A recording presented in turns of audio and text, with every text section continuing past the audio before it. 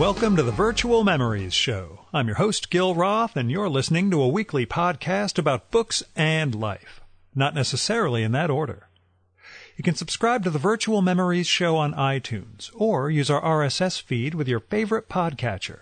You can find the RSS feed on our websites, vmspod.com or chimeraobscura.com slash vm. We're also on Twitter, Instagram, and SoundCloud at vmspod, on Facebook at facebook.com slash virtual memories show, on Tumblr at virtualmemoriespodcast.tumblr.com, and on YouTube, but the URL's really difficult, so just go to YouTube and search for Virtual Memories Show. Now you can support this podcast and get access to exclusive content with a recurring monthly donation via Patreon.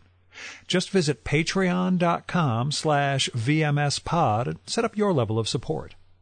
Every week you'll get new material from our patron-only blog, and you'll also get to listen to my quarterly bonus podcast, Beer of a Square Planet, which features extra material from our guests and is only available to supporters of the show. So visit patreon.com slash vmspod or paypal.me slash vmspod and help me continue to produce smart conversation about books, art, comics, and culture every week at the Virtual Memories Show. Now, a few episodes ago, I, I posted from Seattle, uh, where Amy and I were on vacation. Uh, we had an old friend's wedding up in Orcas Island, which was just beautiful. Uh, then spent a couple of days in Seattle over July 4th weekend. And I, um, I think back on it fondly, uh, even though all we did was go to some nice restaurants with my pal Finkelstein and otherwise just lounge in the hotel room and watch Masters of, uh, Master of None on Netflix. Um, I look back fondly because I'm doing a lot of travel that I'm not that into, frankly. Uh, so it was nice to be at a place where they're just, well, where I was on vacation, even though I brought my mics with me and recorded a couple of episodes, one of which you're listening to. Because going into the trip, as is my wont, I asked around for some guest suggestions, and the great Seattle-based cartoonist Jim Woodring suggested I get in touch with Ellen Forney, who is comics royalty in Seattle. He also kind of impishly suggested that I talk to Charles Krafft, the ceramics artist and neo-Nazi, but I, I, I passed on that one. Uh, Jim's a funny man. Uh, Ellen's one of the, the cartoonists who I've always heard great stuff about, and I only know her work sort of at a distance. Like I'd read her strips, but never really read her in depth. Um, I don't know why. It's just one of those artists I never quite got around to. So once Jim suggested her, I started reading up and realized, oh my God, she'd be great. Um, so I reached out. She said yes. We have an episode. It's awesome. Um, the big work she's got, or the big thing you should check out, is a graphic memoir called Marbles, Mania, Depression, Michelangelo, and Me. Um, and it's about her bipolar condition. It's um, it's an amazing piece of work. Uh, and just reading it before the trip really opened up a lot of um, things we could talk about.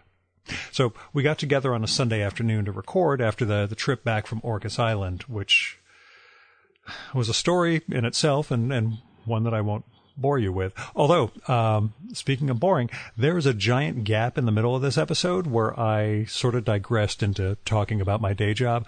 Um, it ties into Ellen's memoir because it's about drugs and generics and um, and all that stuff.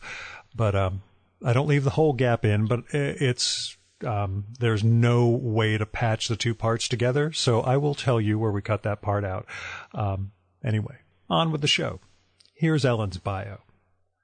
Cartoonist Ellen Forney is the author of New York Times bestseller Marbles, Mania, Depression, Michelangelo, and Me, and the 2012 winner of the Genius Award in Literature from Seattle's The Stranger. She collaborated with Sherman Alexie on the National Book Award winning novel The Absolutely True Diary of a Part-Time Indian, created the Eisner-nominated comic books I Love Led Zeppelin and Monkey Food, those are two separate books, by the way. It's not I Love Led Zeppelin and Monkey Food, which on the face of it would actually be a really awesome title. Anyway, she's also taught comics at Cornish College of the Arts since 2002. She grew up in Philadelphia and has lived in Seattle, Washington since 1989. Ellen swims and does yoga and fixes things with rubber bands and paper clips. She also has an enormous, this isn't part of the bio, but I have to tell you because it's part of the show. Uh, she also has this enormous back tattoo designed by the great cartoonist Kaz, who I recorded with a couple of years ago. Um, it's something that comes up at the very beginning of Marbles and at the very end of this conversation, and that's why I'm telling you. And now, the virtual memories conversation with Ellen Forney, in which we are already talking about the protean style of Bob Sikoryak when we start.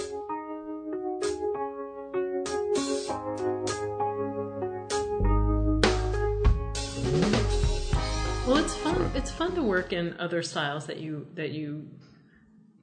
I I did a I did a comic. Um, Lust is the collection. It's, Yeah. It's um I did a comic a weekly comic for years called Lust Lab out of the week, and um, I would take one of the kinky personal ads in The Stranger Yeah. here, and um, and just adapt it into a one panel comic, cartoon cartoon and and because I because every week it was different, I I just I could just play, and so you know sometimes the lettering. What did I do? Like lettering, like a like a kind of psychedelic '60s rock poster, you know, like those kinds of lettering and uh, weird, creepy, abstract photography and. Uh, Picasso and um, Frida Kahlo, and I I could ju- I just sort of and mishmashes of those and and like wacky packs kind of you know products with the different and it was it was really it was it it was really different to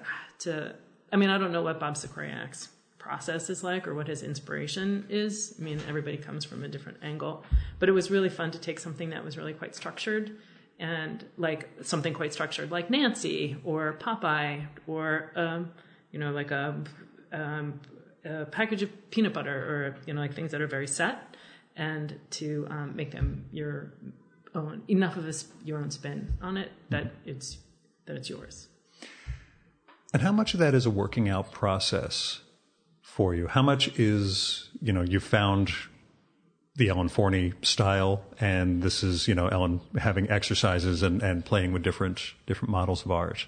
How much of that do you still do at, at this point? like like that process Yeah. that I was And, and when you're working on cartoons also. talking about well you know I used to think when I was first starting out that I was using a lot of different styles and um, that they were really quite disparate and that they didn't necessarily hang together and that I needed to choose something. But um, but I've come to realize that they that they all hold together, um, even when I think I'm doing things that are really different. So that's why. So in in marbles, I use a lot of different drawing styles um, because I have learned that they that they hang together. They do actually make a, a package. I think a lot of it for me is that it's pretty much all done in brush, but I guess that's not even necessarily the case because I've done work in uh, in in pen. I I'm I guess it, it feels of a piece to me, and I've come to trust more that it feels of a piece to readers, viewers, um, from the very different things that I've done, like the light rail stations. Did you see? Yeah, I've seen the, the art. I didn't get to see it because we were, we were driving and we ended up turning off on a different um, street. But I Uh-huh. will make sure to take mass transit so that I can see your murals while I'm, I'm here. Um, So that's so it's so that's in brush, but it's blown up really big. That one mural that you may have gone by was forty feet long, so it's bl- blown up huge. The the lines, the the line weight is, oh, I guess it gets to probably, I don't know how much is it? Maybe not quite a foot, but 18 know, inches. like- I'm just kidding. That's a guy thing. Well, so- you know, it's right.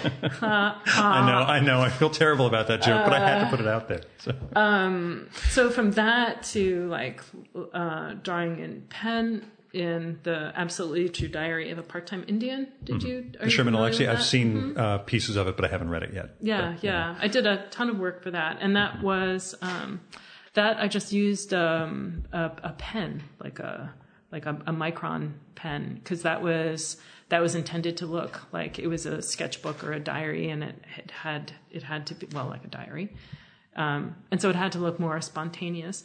That was actually harder for me to do than the brushwork that I usually do. You mean so it's a fake spontaneity? Yeah. Faking spontaneity, it was really hard.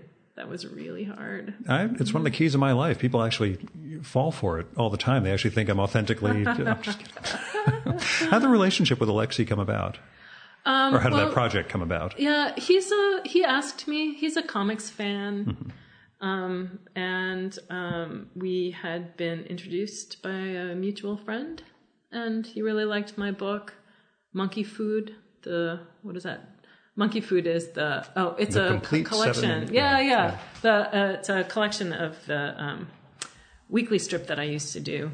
I was seven and 75 and so um, so drawing from the point of view of a kid, you know, that was me growing up in the seventies, and so he um, he he emailed me that he had this idea for a book and would I be interested, and um, And you said work? Great. Yeah, well, no, I mean, I don't usually collaborate with other people. I mean, I it's rare for me to want to do that. Yeah. Even I really um, the process of collaborating is uh, it's an interesting one, and for me, still, it feels almost more like an interesting exercise than it is really feeling like Productive? the way that I would want to to it's not even the way that I how to my like my comfort zone. Like like it feels like a complete package to me when I am doing the doing the writing and drawing because they're they're so intertwined for me I I talk about that so I I teach um I teach You've got all these topics I've actually written down, but trust me, we'll get to them all. It's okay.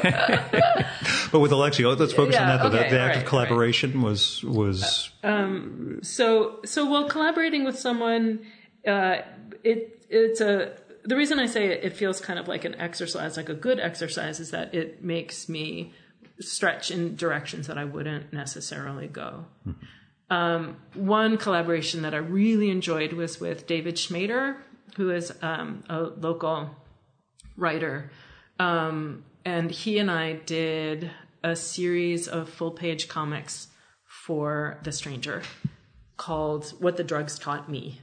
And he, um, so he, it was his writing about his history with recreational drugs. Yeah.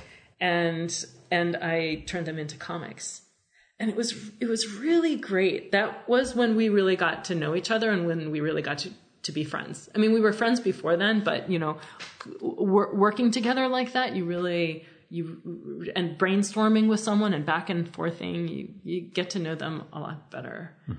Uh, in a in a very in a special kind of way that you only do when you're creating something and collaborating. Um, uh, so so uh, basically it makes me express things and draw things that i that i wouldn't otherwise. Uh, which is very concrete. The the the more amorphous things that come the more amorphous things that i that i learn from that are a little harder to to pinpoint. But um but that but that's the main beneficial part for me working uh, with someone is um, well I, I, I take that back. There, there are many different things that are that are awesome about collaborating. Just, just working with someone else that that is a, a, a creative that I respect. It's exciting, and it's ex- an exciting process to brainstorm. Um, and and then that it does stretch me in different directions is uh, more of a bonus, maybe. Um, but it really, but it really feels much more like a, a, a complete package to me, kind of when I'm when I'm working on my own work and and um, and all the different aspects, all the different angles that go into it. And when it comes to the enormous line weight you had to do for these murals, did you? Our our- mutual connection is Jim Woodring, uh, another Seattle cartooning legend, and I consider you. Well, at least cartooning royalty, if that's good. Um, Jim's got the, the six foot nib, uh, that Nibus Maximus. Did you have to use any, uh, you know, tools you weren't accustomed to using in the process of making that stuff? Um, or making well, those murals? That's funny that you make that comparison. Um, uh, Jim Anytime just, I can bring up Nibus Maximus, I will. I, I think it's just the most awesome thing. On. Well, Jim just had a show not long ago of his um, his Yeah, the pen drawings with that the enormous. pen drawings with the and beautiful, just beautiful.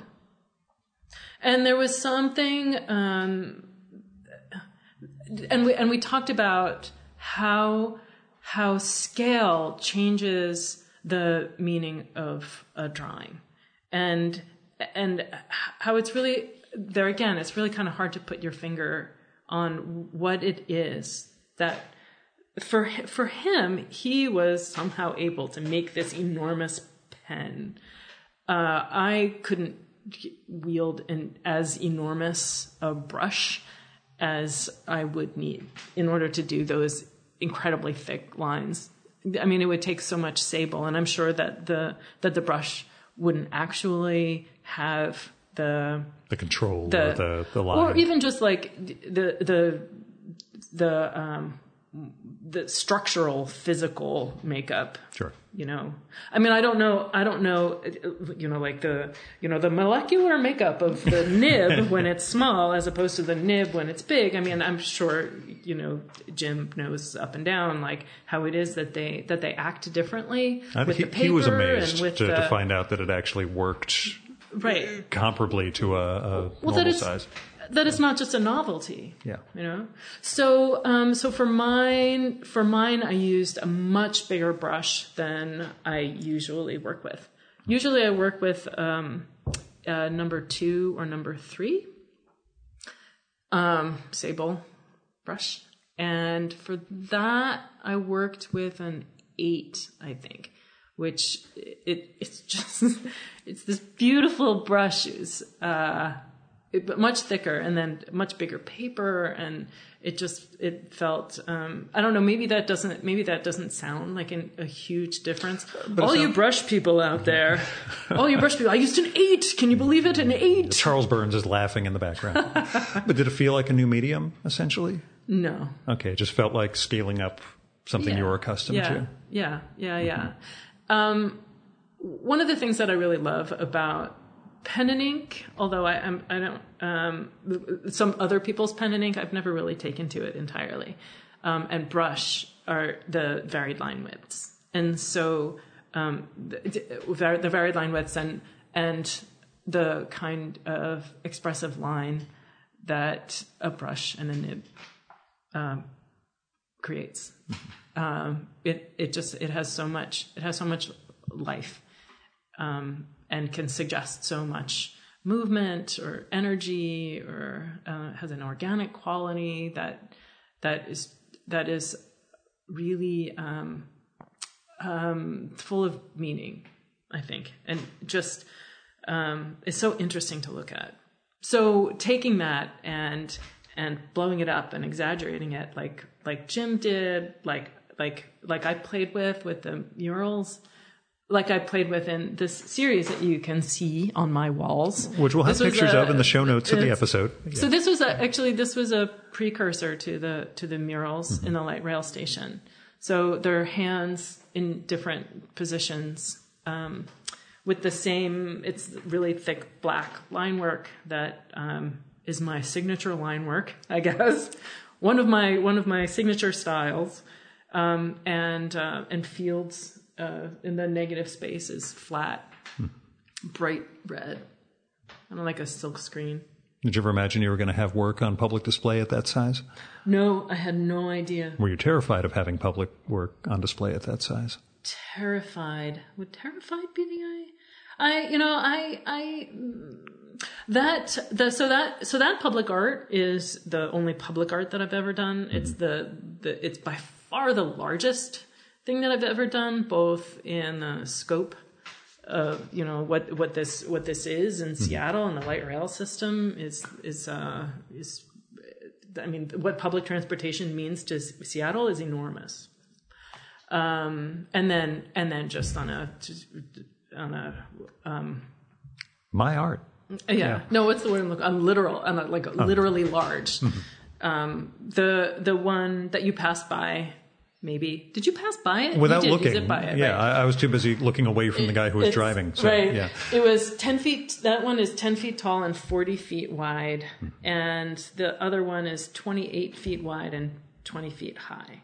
So it's, it's, um, big. They're big. And, um, and I, I really had no idea how, how much that would change the expressiveness of it. The impact yeah but there's just there's just something about the size there's something about the size that also uh, means that it's context specific. Um, you can't take it away with you. Like with a comic you you have it in your hands. There's something really intimate about it. Um, the way the way that something enormous uh, let's say a piece of architecture or or my mural or or Jim's or or Jim's big um, drawings in the Frye. They're they're they're just they're just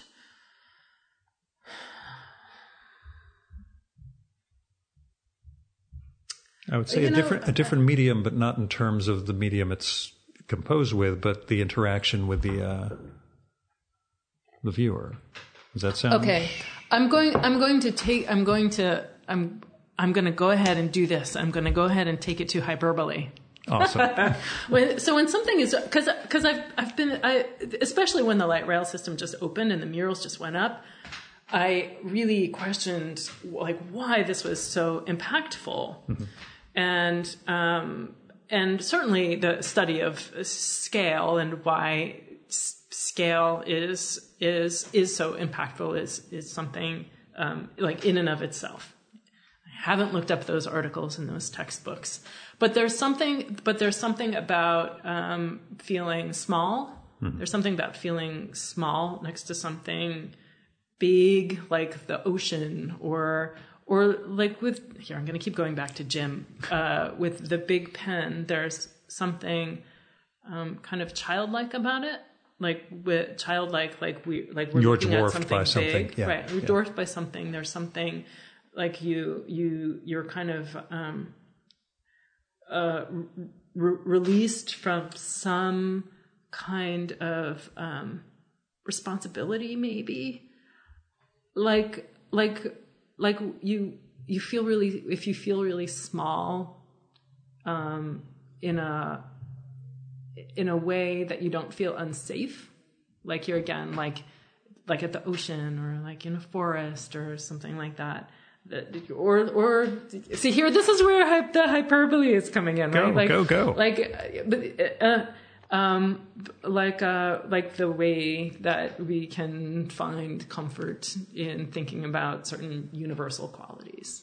And ju- and and and that you know if we feel really small with these things that are much larger than us then things like not getting to your email quickly enough seems very like really beside the point and really tiny so that that is, I think, on like on the far end of of how it is that something large in scale is is comforting and impactful. But I think it's also it's also just um, it's easier to see. Um, like it's it's um, it's I mean that seems like an an obvious thing, but like if you think about a um, a, a soft noise and a loud noise and how different they are, like a little chime versus like a big, big cymbals. It just affects it affects your senses differently. Anyway, I mean, I I I I I could go on about that, and probably I'll think of a million different ways that I think scale is really interesting. I mean, if you if here I am going to go right on, but if you think about, um, I'm I'm a like if you think about like like reading teeny tiny writing well okay uh, my uh, i just got i just got derailed my brain just sort of like went off in a different direction i'm gonna Which could bring us you back to in. marbles, Yeah, but- but go on. yeah right yeah yeah that's right What's it mean to be part of Seattle in that respect? To, to have your work as part of Seattle municipally when you've been part of Seattle for about 30 years now? Do you feel that that Um, connection, contribution? Is it 30 Permanence? years now? 1989, I know right? Yeah, yeah, yeah. Uh, I'm jumping ahead of the game. Wait till I ask you what it's like to be looking at 50. oh, God, yeah. Well, I am looking at 50. Yeah. Um, You're lucky I didn't start you off with that question because you would have just punched me and it would have ended things quick. I'm just not good at math, and I don't usually think about it that way. I just know at some point I, I, I passed the mark of, of having lived here longer than I lived anywhere, Anywhere else, else. and I just kind of left it at that. Yeah. but being part of having your work as part of Seattle now, you know, having something that's that's physically Right, embedded in the city that you've made home. right. How's, well, I feel. how's Seattle changed for you over? Oh, well, that's a that's a those are big questions. Yeah. Well, I'll say this. I'll I'll start with the first part of that, um, which is that I, I have. So I grew up in in Philadelphia. Um, my mom hates it when I say that because I was born in New Jersey, and, and There's nothing wrong with that. I keep telling people. No, no, I, I'm proud of it. Um, but I, I and then I lived in Metuchen, New Jersey when I was uh, when I was a young kid, and that's where um, the I was seven and seventy five stories took place. Um, but I really consider Philadelphia my hometown, um, and and and uh, unless you're talking about where I live now, and I feel really really at home in Seattle, and you know that's why I've lived here for so long, and uh, it is um, a major part of marbles. Um, if you think that context is a major part of a story, uh, there's there's Seattle all through it, and the different different places in in Seattle, and um, places that aren't there anymore. So um, so it's important to me, and I've lived in Capitol Hill. This is the the um, the part of town that that we are in right now. And the light rail station where I have the murals is just a couple blocks from here. So, and I and and I've lived in Capitol Hill pretty much the whole time that I've lived in Seattle. And so I feel really like kind of a Capitol Hill girl, if you will. Uh, uh, Is that a stereotype of some kind? I, I- no, no, no, no. Okay, no, no. good, Just good. we had just talked about my one of being, those Capitol my Hill being girls. fifty. I'm I'm almost fifty. Yeah. Uh, and if I can still call myself a girl or not. It's bad if I call you a girl, though, right? Um. It depends on the context. but so, but so to to be uh, to be a part of the landscape here is um, is really um, it's it's an honor, and it feels uh, it feels really it feels it feels really right to me. Um, I I you know like I feel like I'm offering offering something to my neighborhood and my city and I've gotten enough positive feedback that I don't feel like I am imposing me on my neighborhood and my city. So um so it's very it's very uh, it's very it's very satisfying in a lot of in a lot of different ways the murals are on street level so um I'll look for them. For Christ's sake, I will look. well no but it's very different from yeah, um, underground inside under- a metro station or something. Yeah. Because that that's more as a part of the as a part of the transportation system. You will But keep in mind, you're, you're talking to a guy who I had a trade show in Brussels many years ago, Mm-hmm. blew off dinner with my coworkers so that I could take the metro all the way out to some like far off suburban station because that's where the Hergé murals were. Some Mm. Hergé painted the entire length of this one station in Tintin uh, uh, style and, and all these characters, and I thought, yeah, I could go out to a fancy dinner, or I could go see that, Uh-huh. and that's why I have a really tough social life. But anyway, that's that's was that in paint? Did he use paint? Yeah, I've got. A, I actually put it up on Flickr. There's a whole photo set I've done of of because uh, I had to prove that I was actually there. Otherwise, they would think I was just blowing them off for no reason because Right. Brussels. Yeah. Um, but yeah, These are um, they're porcelain enamel and steel, Mm-hmm. so they're um, they're kind of like the well, it is the surface of a stove. yeah, You know the um, it's um, powder coated and goes in and out of the kiln a number of times. So um, that was really exciting to work in that medium too. You get started in comics? What were your influences in, in comics when you were a kid? My influences. Oh, when I was a kid. Yeah, what got you start? Like, what were the things you were reading when you were a little kid, and then what was the moment of, hey, I can make these? Well, I would say when I was a kid, well, just like everybody, I was a big, you know, I read the funnies on Sundays, uh, and uh, Peanuts. I was a big fan of Peanuts, and I would get books out of the library of Peanuts. But I didn't. I didn't really. I, I didn't.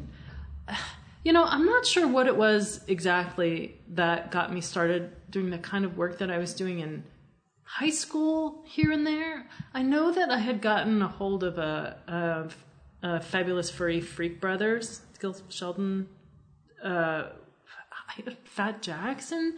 Phil, I don't have I don't have a memory of going there. Oh, the the, the comic You store, Fat Jack's Comic yeah, Crypt. yeah, yeah, yeah. yeah. Uh, Philadelphia comic store for those of you listening. Blah blah blah. right, yeah. right.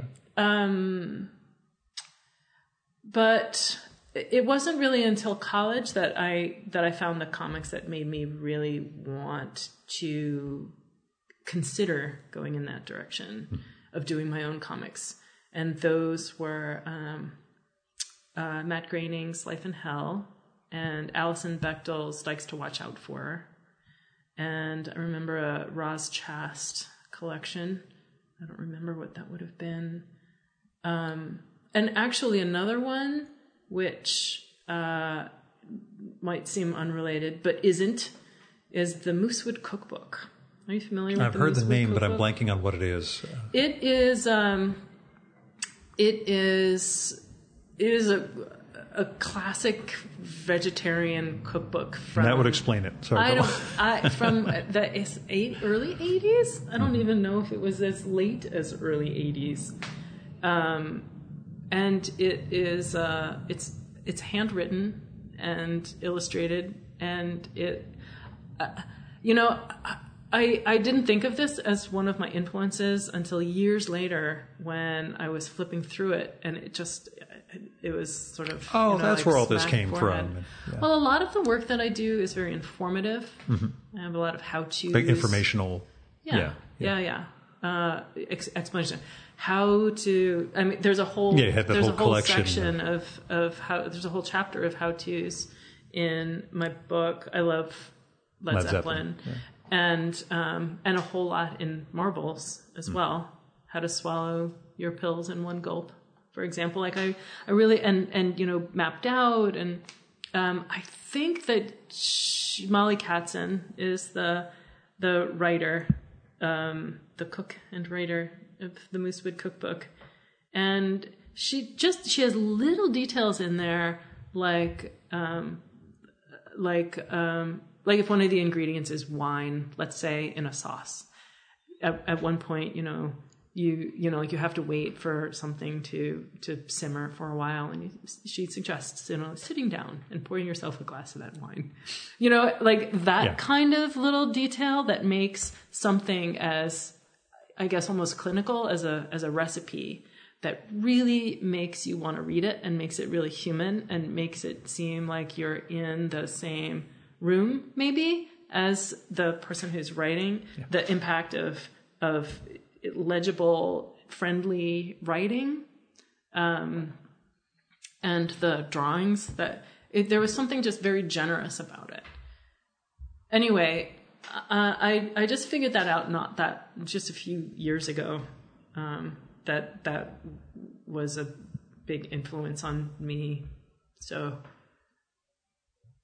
hence my going on about it I suppose It's good to be excited about um, stuff. It's, but then uh, we're old and decrepit now, like I, I, said. I would say um, later than that, once I was thinking about when I was really exploring if I if I wanted to do comics professionally or not. The the other big influence on me was Michael Dougan, um, a Seattle cartoonist. That I always wonder what happened to him. you know, um, I think I th- I I don't know. I Yeah. never Everyone has the same thing. They all have a yeah. I love the the East Texas stuff and the, the other books, and he just Mm-hmm. yeah. East Texas, I I got at Fat Jack's too. and the Uh, strip he drew for Denny Eichhorn, Dennis the Sullen Menace, is one of the greatest things I've ever read. And he just kind of Um, or there's some great story that nobody wants to tell me about where he ended up. It's entirely possible too. But you know. if I if I if find out, if when I show someone um, who is familiar with my work, but maybe not your lettering reminds me of. Michael's.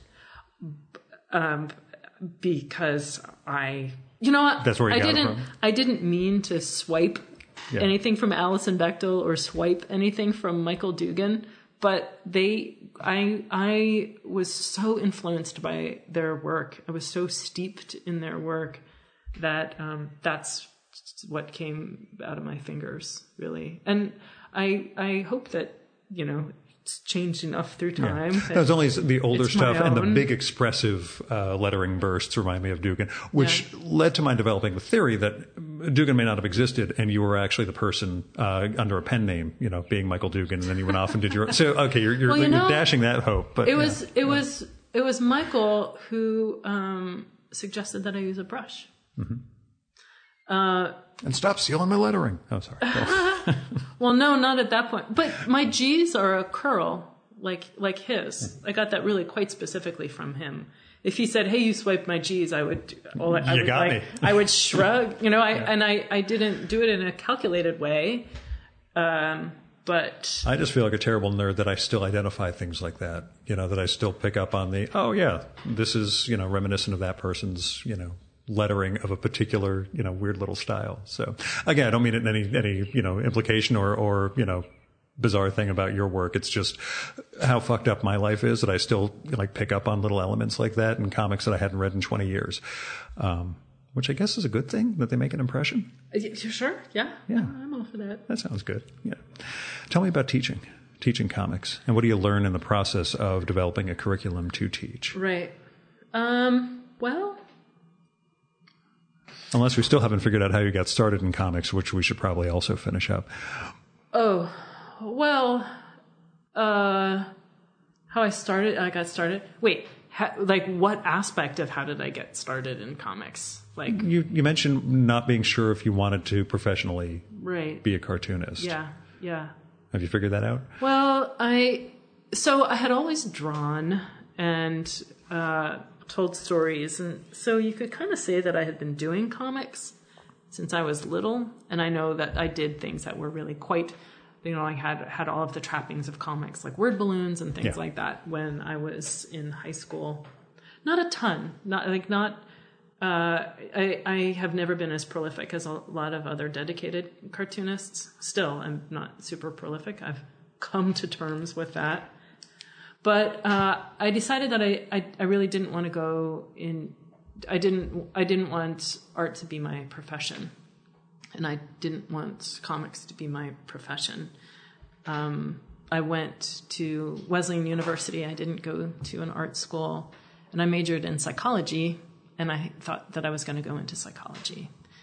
And um, Which, in a sense, you did, but we'll get back to that topic also. well, I looped back. Yeah. I mean, so that I mean that's one of the things that was that was really uh, uh, uh, of the many things that were, uh, you know, I, the word catharsis is so big and cathartic is is Played out. played up, but there were many things that really felt like um, like t- tie, tying up loose ends or putting things in a box or you know like things falling into place. You know, like that that sense that sense of like, oh, that's what that's about, or that's why that happened, or I get that now, like that kind of thing. That my interest in psychology um, and the way that people tick. For a long time, I related that to comics um, as um, just really being interested in, in what makes people tick and the kind of stories that, that come about and the way that people develop and the, the reasons that we make certain decisions and just um, the way that people think, I think, is is really interesting, and I always have. Um, but but then on a more obvious level, you know, coming come doing that circle of coming back and doing a book about bipolar disorder, my bipolar disorder, um, my psychology, and doing a lot of research into psych studies. It felt very familiar. It felt it felt like uh, it just it it all made sense in a way. Like doing graduate work in yourself. Marbles, to a very large degree, was the senior thesis that I never did. At Wesleyan, there was not a required uh, thesis in. You try to skate under the bar as best you could. Which was one of the several reasons that I majored in psychology, but is also one of the reasons that I have very lengthy and detailed endnotes in in marbles. Uh, I just For the fictional thesis advisor, well, well, I mean, uh, so so it was really satisfying for me. I did a ton ton of research and um, well, so one of the one of the many threads that went into marbles was the correlation of mood disorders and creativity. So I did um, I did a lot of research about that. or as we laymen call it, the crazy artist syndrome. Well, well, right. And Yeah. how much truth is there to that? I mean, we know that there are that there are plenty of myths and beliefs that don't hold w- water. And just because it's something that seems intuitive doesn't mean that it's Yeah. true. So, I mean, I, I, I mean, I, I still have criticisms of almost almost every study that I cite, which I think is important. Yeah. You know, once you once you it, it it doesn't take looking into things very far to to ask questions that hard to answer. How many how many people were studied Yeah. for this? The for metrics, this? how You know, like, qualitative they are. they? Yeah. Oh, oh yeah. They were all seniors at that one college and were making generalizations about humanity. Really, you know, there were twenty people in that. When was that done? Where was that done? How you know, like what was the what could the bias have been? Were they really looking for anything, or were they really looking to prove like a thing that they already thought was true? Anyway, like all, all, all of those things. I think it's a it's a big uh, limitation in a, in a in a lot of in a lot of studies. It's one of the things one of the things that I that was one of the most important things that I learned in uh, college. I think was in a psych stats class, um, statistics. Which I just was terrible at. We were just talking about like math. I'm just Yeah. like I get to I, I like I play artist. Just like math, math is beyond me Uh, and but and it but it uh Yeah. just the, the statistics i was just oh it's just i was just the the oh, it was terrible at statistics however however um learning how easy it is to skew the results or all the different pitfalls that can come into play with um, like we were just saying you know like the number of people in the study or where or when um, the different ways that they can be contaminated in whatever way. It was really really eye-opening and has remained so with with any numbers that are floated by four out of five dentists surveyed recommend right? Like who are those four out of five? Where did let me see the study. When was that done? Who did you do you know like who did you do to five of your friends you know? And and uh, for a, a lot a lot of the statistics that are just thrown our way 20% 5% if you if you actually look in there at all i mean for one, things are a lot more complicated than they're usually boiled down to. It's important for things to be simple and succinct. I, I, I think you know, no, uh, three about three percent of the population has bipolar disorder. About ten percent of the population has some sort of mood disorder. That's useful. That's useful. But then, but then it doesn't take very long to think. Okay, well, when you say bipolar disorder, what what do you even what do you mean? Like what bipolar one, bipolar two? Are you including cyclothymia? Are you including people that haven't been diagnosed, misdiagnosed? Do you mean just in the United States? Do you mean just adults? You know, like it, it kind of it goes on and on. Well, okay, well that's two percent. Well, that's twenty five percent. Well, that's you know like 0.05 percent. Yeah. This is a large population that we have no idea. that so they're useful. Um, like statistics are useful. Obviously, studies like well done studies. I depend science. I believe in science. Yes. There, I said it. um, but then also recognizing the limitations uh, is uh, I, I e- equally important, I guess, to not entirely make assumptions. One of the major concerns, we'll say, for your character in, in Marbles, just mm-hmm. because it's a way of, of framing the Ellen of the book, is that getting treatment for the bipolar condition you had would stunt you as an artist or cripple you Right. artistically. I would say the the disorder that I have. Yes. Right. Yeah, that that's you know appropriate. Right. Um, What was the process of getting over that? And do you feel that it, it how do you feel that it changed you as an artist? Getting treatment and finding a, a treatment that actually worked or works as an ongoing thing. Right. Yeah. Um, well, and was there a process of doing this book that also helped fix things or help repair some of what's what you're working through? right. That's well, a terrible term to use. Repair isn't great. Um, you know, the ongoing maintenance, heal, I guess, is it. Um, stabilize.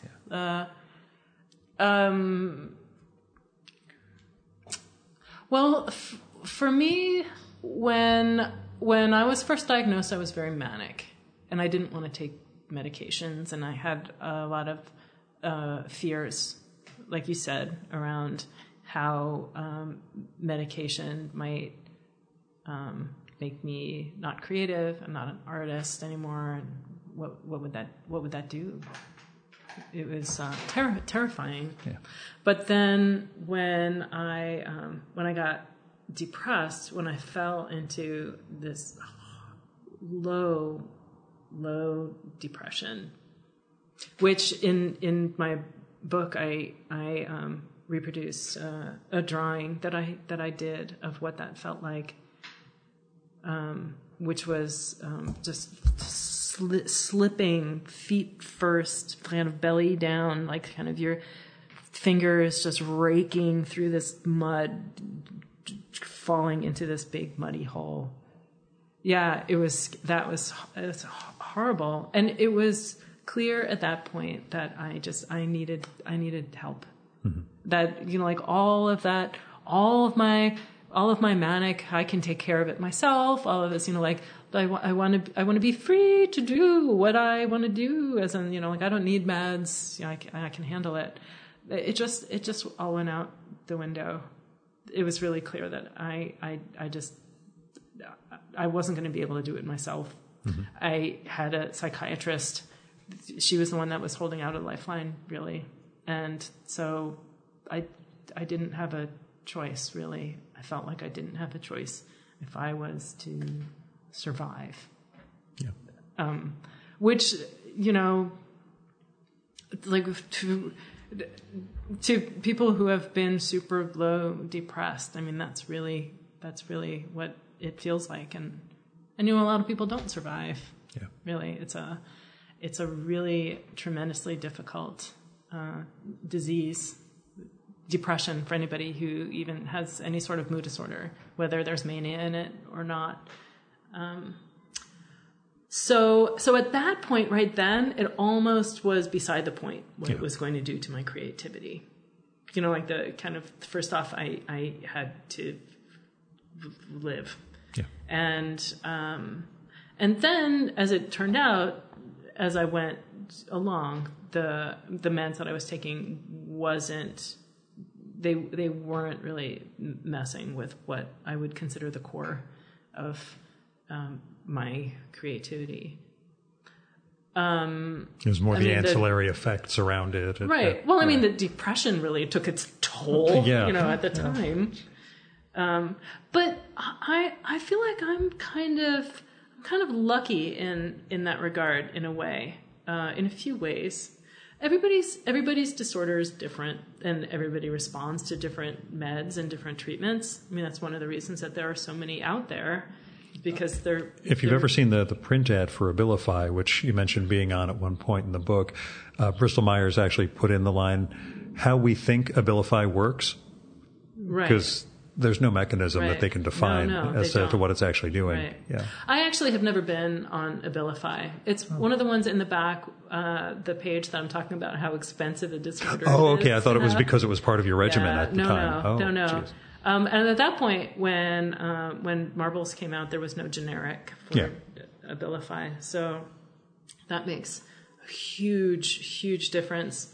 That's I part of my day job. I, I negotiate with and against the generic drug industry. So, yeah, Yeah, it all ties together. It's- That's- that's- yeah, yeah. Uh, so do you do you try to keep the trademark on the? No, uh, my guys. Hey, folks, here's the gap I mentioned earlier. I went on for like 15 to 20 minutes about generic drugs, healthcare lobbying, uh, really great stories and anecdotes from my, my day job. I cannot put any of those on tape. So um, it's a pity. You're not going to get to hear it. But if we're ever hanging out with no mics around, I will tell you some stories. So, But the so, process of making marbles, though, so in terms of how it changed you. The process of making this book, though, how did it change you? the process of making marbles. Yeah. Oh, Both telling the story, uh, you know, looking at yourself well, in that, that retrospect for that Well, you know, one one thing one thing that um, I'm going to loop back to Because we're pretty digressive, but that's the way the show goes. is you asked me um, about teaching, Yeah. and so um, when I first started teaching college level, that was in 2002. I had to come up with my own curriculum. There weren't that many comics, college level comics classes at that point. Had you proposed it, or were you hired to build it? I proposed it. Okay. Um, and I was hired by Cornish College of the Arts, where I'm still teaching now here in Seattle. Um, and I based a good chunk of the concepts on understanding comics. The by Scott McCloud book. McCloud, Yeah. yeah. He's so much fun to record with, by the way. Oh, I'm sure. I was not He's expecting him to be as as just easy a conversationalist as he was. He is enthusiastic, if nothing else. Um, uh, But yeah. you're building off of and, that. And and understanding comics, I just think is it's such an important it's such an important text for anyone that wants to s- To understand, understand comics. comics, that's it. Yeah. what happens between panels? Anyway, so years of taking comics apart and putting them together and having thoughtful, creative students um, come up with their you know questions and interpret things differently and kind of going over things that you know like uh, you know like elemental um, uh, ways of getting getting from one idea to another and structuring your stories and stuff like that. Um, I I felt like I had a lot of uh, a lot of very clearly identifiable tools, like lessons that I teach and worksheets that I came up with and stuff like that. When I was when I was doing marbles, I felt like I was using all of those things it, it, uh, coming up coming up with new ways to do to do things because I was uh, a, a lot a lot of marbles was really new to me. The kind of uh, the heaviness of the topic and the kind of dark humor then that I that I was everywhere and um, just uh, just a just a lot more different um, angles and dynamics and moods to navigate and and and make coherent.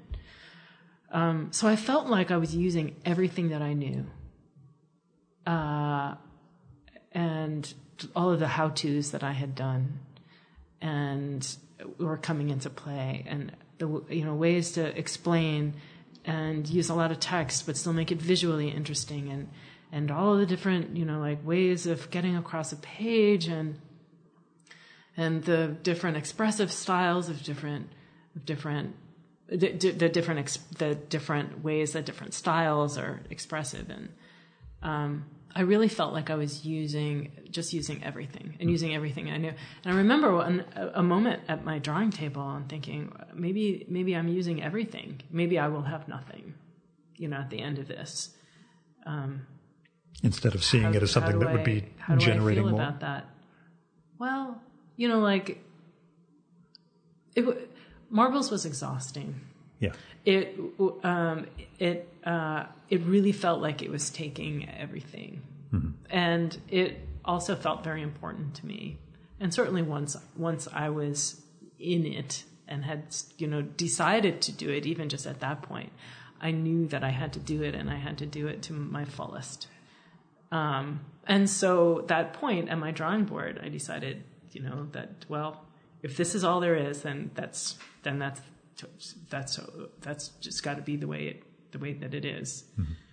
But that really felt that really felt like I, like I was using every, like if you like if you're in a room and you're and you're like, you're like okay what else do I have? I've gone through all of those boxes.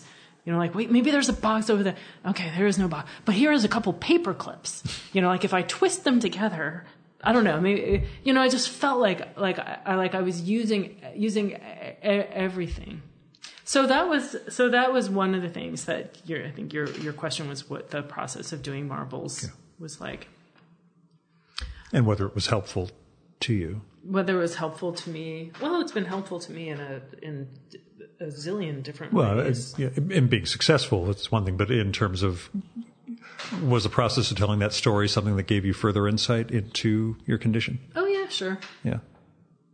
I mean, In a way that I mean, helps. it, it's.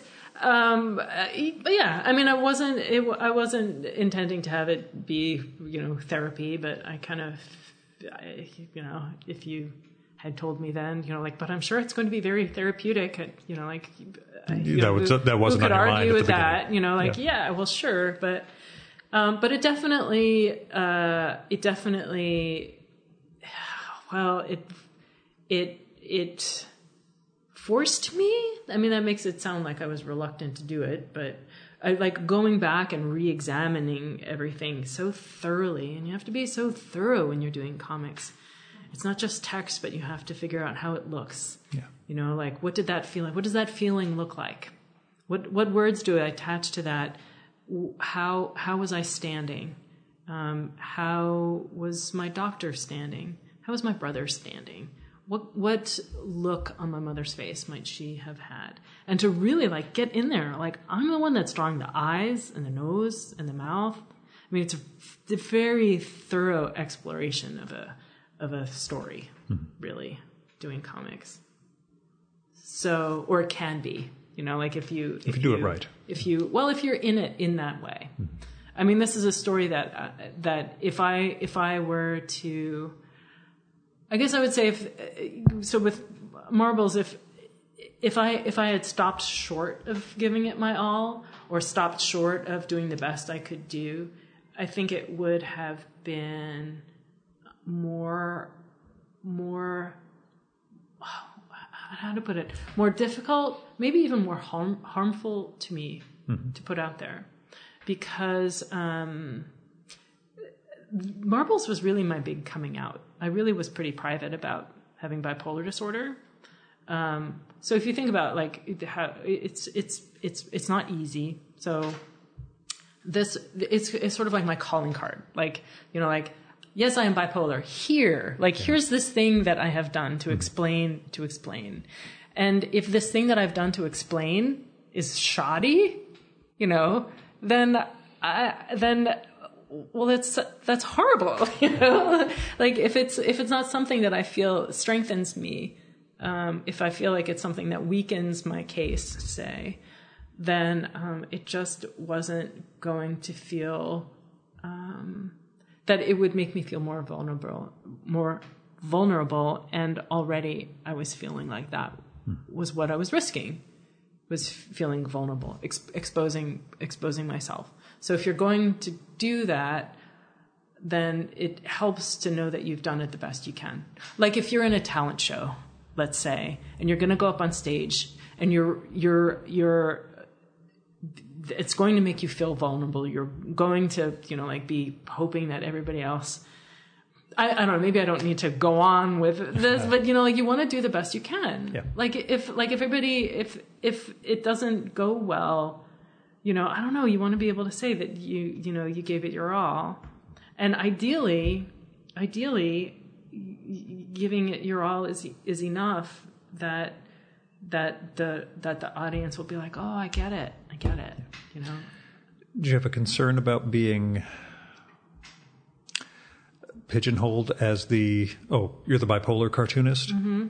Is that a, a Well, that very specifically, actually, a good friend of mine, uh, when I was, I can't remember at what point, if it was when, it was some, it was something like when I, after I turned in the final draft or when I was finishing it up somehow, she said, um, you might be the bipolar, how would you feel if you're the bipolar yeah, cartoonist? the bipolar cartoonist? Right. Even though And- we're pretty sure there are other ones, but Well, well, but I mean, and and but not one who's made that Right. the, the the great work of their career. and, and anyway, Sorry. so that but Yeah. the the answer was, uh, I mean, I had to think about that for a moment, um, and that that's that's all right. That's good. That's you know, it's been a lot of work to get here, and I feel like uh, I feel like it's an important part of who I am, really, uh, and certainly there are more there are more mm, celebrities and well-known people who are out now about their mood disorders than there were when I was diagnosed in 1998. And I think that um, it helps a lot to have to have um, inspiration, not Yeah.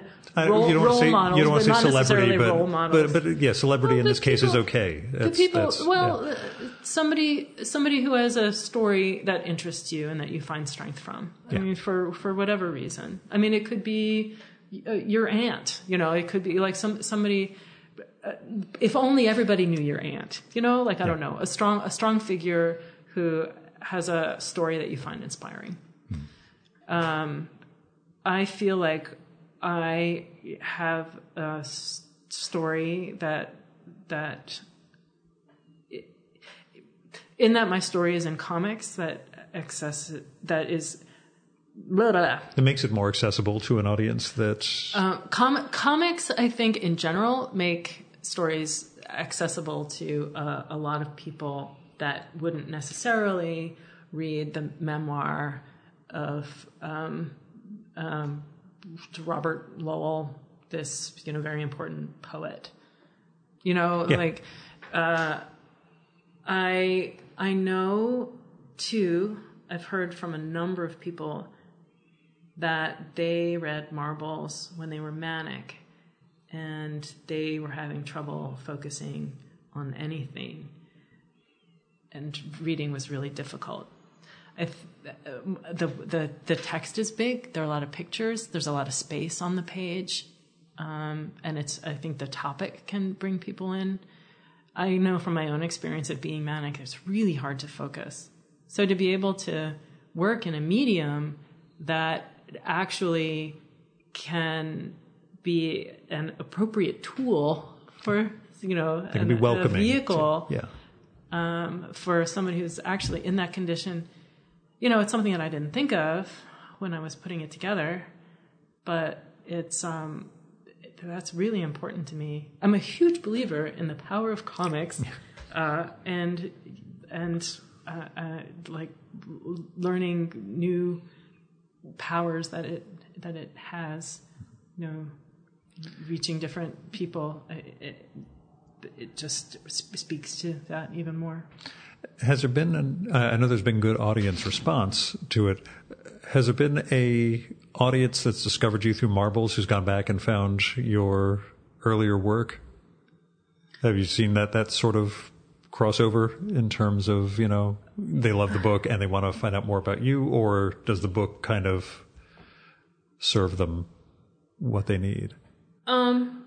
Well, Are you building a, a bigger audience beyond Marbles? I guess. Right, Um, it's a weird question. right. Well, I think that's a little hard to say. It's a little hard to say. Um, I know that people who are familiar with my work, had worked before I found marbles, but the um, I I have gotten a really significant reader response mm-hmm. from marbles, and mostly what readers um, uh, write to me about is marbles. Yeah. I just didn't know if you've you've encountered anybody who I read Marbles and I went back and found your other work and oh my god, it has nothing to do with right. Yeah. Some, some, but I, but I, I, that's not what I hear. Yeah, it's more mostly. just the impact that it has on them mm-hmm. uh, in particular. Yeah, yeah. Which I assume is something that makes you feel really good. It's uh, intense. Yeah, it's really intense. In the beginning, when Marbles had just come out, I um, I was still really kind of vibrating with the the the feeling you know like terrified and excited. And i mean here is like i was out all of a sudden. Everybody knew i was bipolar. People that i didn't know knew that i was bipolar. Uh, so i so i still had that. Um, when i had been talking about the book more for the previous year it it i realized um, how much people were ready to talk about their own disorders. Like um, well, so when I was working on marbles, um, I, like I've now said, I wasn't, I was still pretty private about my disorder. So when people would ask me what I was working on, I would say I was working on a graphic novel. And they would say, Oh, what is, what's it about? And I would say, Well, you know, I'm, it's still really in process. I'm not really talking about it yet. So it wasn't until um, I was really quite late in the production that I realized, you know what, actually, I have to start talking about this because otherwise it's going to be like, bam, you know, like the book is out and here I am on, sta- on the spotlight.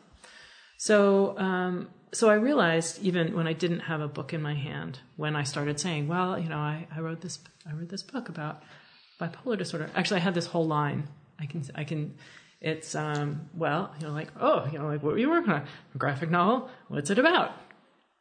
It's um, it's a graphic memoir. Actually, it's called Marbles. Marbles, mania, depression, Michelangelo, and me.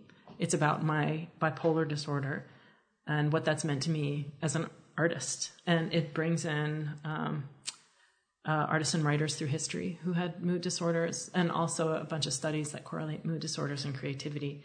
I can't tell you how many times I have said that line. Yeah. It's an elevator pitch. It, it's, it's, it's, a good one. Well, it's because a couple of things. Um, it allows me, in saying the full name, mania, depression, Michelangelo, and me, it, it sort of like couches what this, what I mean by dis, bipolar disorder. And then I come out saying I am bipolar. And then I keep talking. And I give myself, because I've thought about this, like why it is that I say this line besides being an elevator pitch, which it is too, you know, just like here's a description of what this thing is, is artists and writers through history who have had mood disorders. That gives me company. That gives me a context. That gives me a team. That yeah. gives me a group of people, and it's not just me. You know, I'm not. I'm not the crazy one. I'm not the only one up here on this stage. You know, like broaden that spotlight. Look, there's a lot. And then um, studies um, correlating mood disorders and creativity and then bringing in like science and studies yeah. and something really concrete. And so, so basically, so what I was really doing with that statement was kind of just like broadening it and tightening it.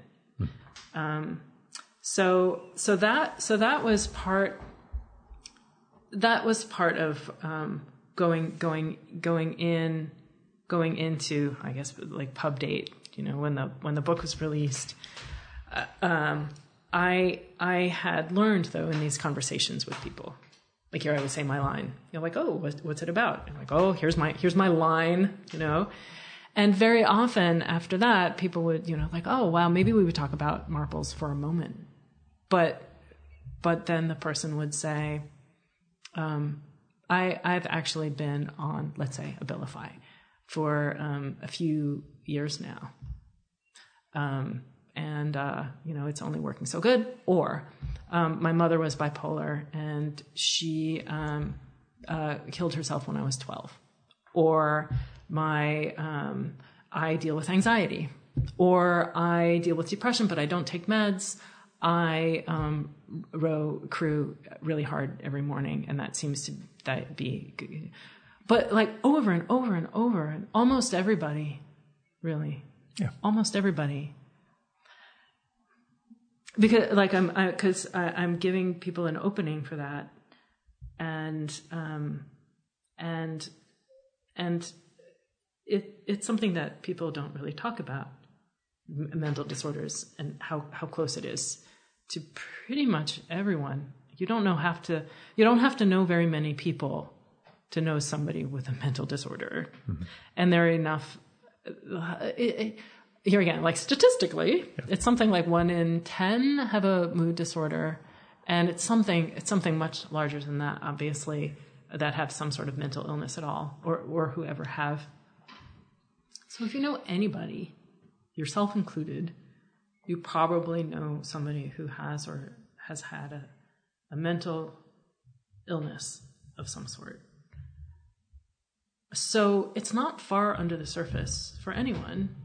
And to give an opportunity to to talk about it or even or admit it or or air it maybe for the first time or to a stranger or I I I I learned even before the book came out that people were really quite not just willing. I mean, not not even what I was expecting was maybe they were willing to not see me as a weirdo and a freak. Yeah. You know that it was close enough to them that they. But it didn't. It I didn't know how many people Would, would it bond would, to would you. actually Would- yeah. yeah. and and actually even well would come out Yeah, yeah, they would- Yeah, that, that's I what I mean. That, that they would out. actually offer their Right, story right. at the same time. Yeah. Um, and um and i guess also there was a little a little uh, again like no i knew the statistics you know one in ten. But knowing the statistics actually doesn't really prepare you for the real life person in front of you. Yeah. like just just knowing one in ten people have mood disorder like oh right all of these people that i'm meeting have it in their lives so closely. You know it's very different when it's actually in play in real life. So i already knew i already knew that from these discussions that i'd had just about my book just in the air just verbally. Um, and then once marbles came out um, it it wasn't a surprise so much then that so many people had uh, the kind of personal response to it that um, that they that they did. I heard, I, yeah, I heard. and so at first it, at first it was a little overwhelming, and I wound up printing out a lot of the emails that I got uh, so that I had it kind of uh, there was something concrete. Yeah. There was something like a thing, like like like all of this energy and all of these people who were like, "Oh my god, me too," or or me too in whatever way, or now I understand this, or now my mother understands that, or now my patients understand, my doctor understands. Uh, and um, it took a it took a while to get to get used to, but not not as long as you might think. It it did it did it it makes me it makes me feel very purposeful. And you're working on a, we don't want to say sequel, but thematic say, sequel. Say sequel. Yeah. I've I've started saying sequel. Okay. It's not a it's not a sequel narratively. Mm-hmm. You know, it doesn't pick up where I left off because stability, and I've been stable for years now. Uh, pretty much since I I mean stabilized in marbles, which was 2002. Um, that doesn't make for a very exciting story arc. Nothing went wrong. But the but the thing is uh, that you know once you stabilize, it's a big challenge to stabilize. But then you have to do that treatment, meds, whatever it is. Be careful. Make sure you get enough sleep. Keep a mood chart. You know, like for some people, you know, like go go ahead and go to the hospital every once in a while. You know, like cycling to whatever degree for the rest of your life. I mean, it's a it's a chronic yeah. disorder. It's it's not there is not a cure. So that part of the story isn't generally a part of the memoirs that you read. I mean, including my own, up until the very last chapter where I basically say, you know, like stable is relative, and here yeah. are all the different things that I do. But that, all the different things that I do, we don't really, you know, it's it's it's hard it's hard to make that a good story. Mm-hmm. So that's my challenge for this one. It's a book of coping tools, basically. Um, uh, it's called Rock Steady. Ah, pun. Uh, verbs. Uh, um, verbs whatever. Rock, rock, rock urban. No, uh, rock steady. Brilliant advice from my bipolar life, mm-hmm. and um, it goes through uh, dealing dealing with getting enough sleep and meds and different kinds of treatments and recognizing your red flags and what to do about them and um, substances and feeling suicidal and financing your mental health and uh, uh, all that stuff. Yeah. Like a whole living whole, with it, living living with it, living with it in a healthy way, which is not not easy. Mm. Yeah, but uh, but very doable. But it's it's really nice to know too that you have company. You know. Mm. I understand. Last question. Mm-hmm. The book starts out with you getting this uh, enormous back tattoo designed by one of my past podcasts, Kaz. Mm-hmm. If you could do it over, which isn't to criticize Kaz, but you could get one other cartoonist to design a great back tattoo for you, who would you use? I don't think this could be improved upon at all. Oh yeah, I don't mean it improved. If Kaz never existed, you know, is there another cartoonist you would have said, you know, you should be my my back tattoo designer? Um, and don't I, worry, it, again, not a right, slight right. on Kaz, who I, I adore. It would be, it would be. I, I'm, I am going to continue to hedge. Yeah. Yeah. Okay. It's one of my, it's one of my favorite things. Mm-hmm. Um, uh, my tattoo, my back tattoo from Kaz. It's gorgeous. It's, he, uh, I don't, I, I don't know. This probably didn't come up when you were talking. He, he told me that, um, that he. Uh, he I don't, I don't know if he if he wanted this in my will or not, but that he gets if I die before him that he gets my back skin. uh, I think yeah. he, I think he said to make a lamp. Yeah, well, duh. You'd, like, you'd have like to at that point. The old days.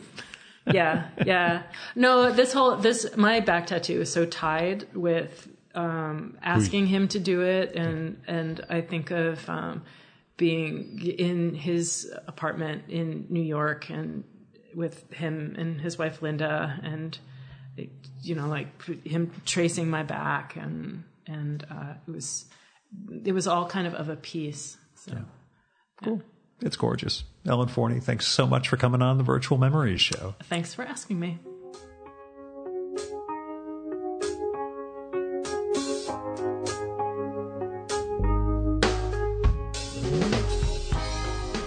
And that was Ellen Forney.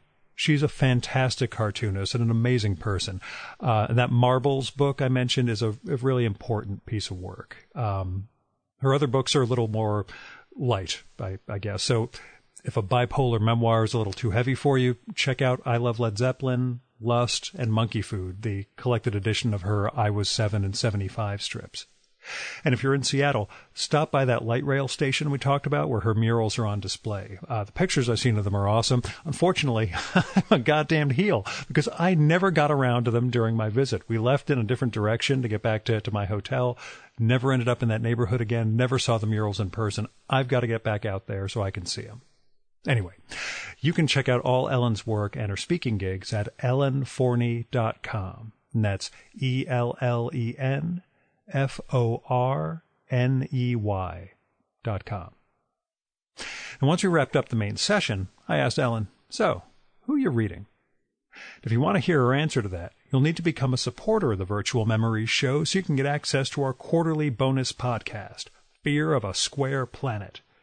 I just posted a new one with last quarter's guests, and it's it's dynamite. There's like a 10 minute section with Seth where we talk about um, how he how he fell in love with Anita Brookner's novels, the guilt he feels over abandoning Alice Munro as his favorite novelist, and um, and what it's like to sort of do a deep dive into somebody who's published 20 to 25 books.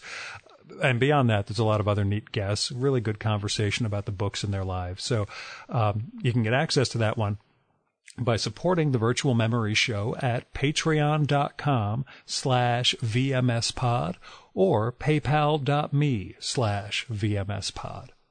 There are all sorts of goals and goodies in place for patrons, including that podcast, patron-only blog, handwritten show notes for every episode, the series of ebooks that someday I'm going to launch whenever the day job finally lets up a little bit, and more. So go to patreon.com slash vmspod and support the art of fine conversation.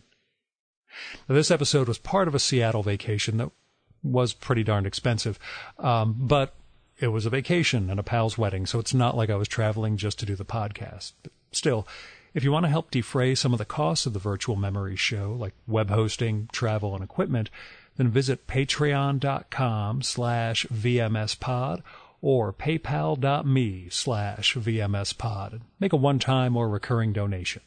A special thanks go out to Kevin Katila, John Wendler, Fred Kish, Jonathan Kranz, Wallace Wilde Manozzi, Andrew Mason, Greg Tanner, Garrett Zecker, Craig P. Steffen, Jack Les Carmela, Les Carmela, uh, he's a new one, I haven't heard the pronunciation of his name yet, and Ron Slate for going over and above in their support of the Virtual Memories show. We've got the full list of show supporters at chimeraobscura.com slash VM. Our music for this episode is Nothing's Gonna Bring Me Down by David Baerwald, used with permission from the artist.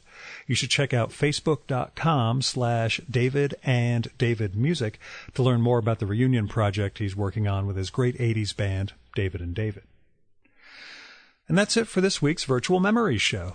Thanks so much for listening. We'll be back next week with the novelist Matt Ruff, whose most recent book, Lovecraft Country, is an absolute joy and will soon, well, it's in development to become a series on HBO. I say soon because I'm really hoping I'll get to see it.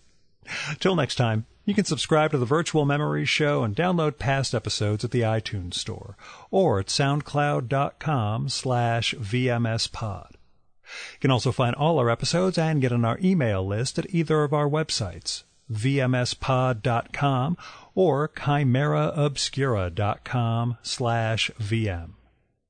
You can follow the Virtual Memories Show on Twitter and Instagram at VMSPod, on Facebook at facebook.com slash Virtual Memories Show, at virtualmemoriespodcast.tumblr.com for the few people who still use Tumblr, and on YouTube by searching for Virtual Memories. And if you like this show, please go to iTunes, look up the Virtual Memories Show, and leave a rating and maybe a review for this podcast. That'll help us build a bigger audience. Till next time, You've been listening to the Virtual Memories Show. I'm your host, Gil Roth, and you are awesome. Keep it that way.